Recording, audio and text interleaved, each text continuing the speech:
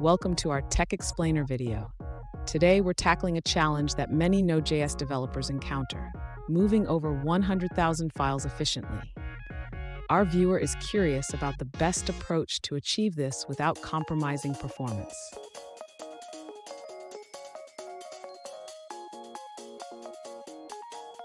The question at hand is about finding the fastest way to move a massive number of files, either synchronously or asynchronously, using Node.js. Our viewer has conducted tests comparing different looping methods and found that the core factor affecting performance is the file moving operation itself.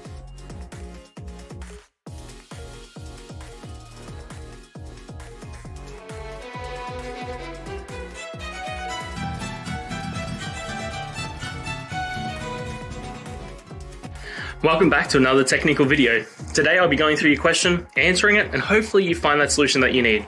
Guys, remember to stay just a little bit crazy like me, and hopefully you get to that resolution. Now, let's continue on. In this video, we'll explore the performance of moving over 100,000 files in Node.js, comparing synchronous and asynchronous methods.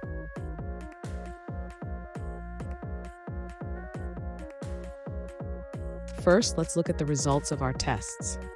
We found that using rename sync is about 20% slower than rename, but it uses significantly less CPU power.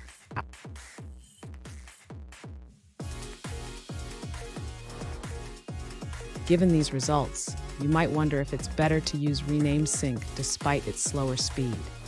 The answer depends on your specific needs.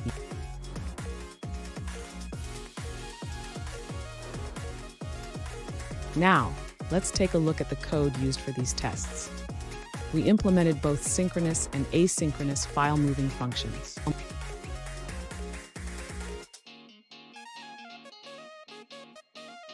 Finally, if you're looking for better performance, consider using batch processing or optimizing your file system operations.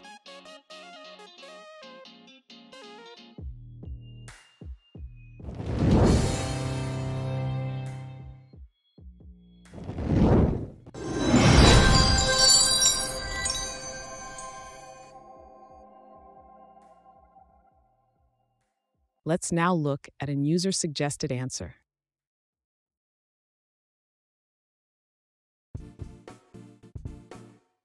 To optimize asynchronous performance in Node.js, consider creating a pool to limit concurrent operations. This approach helps you find the optimal number of async tasks to run simultaneously.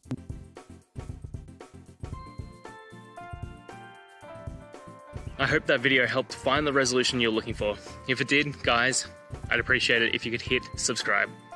Until the next time that you need more technical help, I hope you have a good one. Cheers.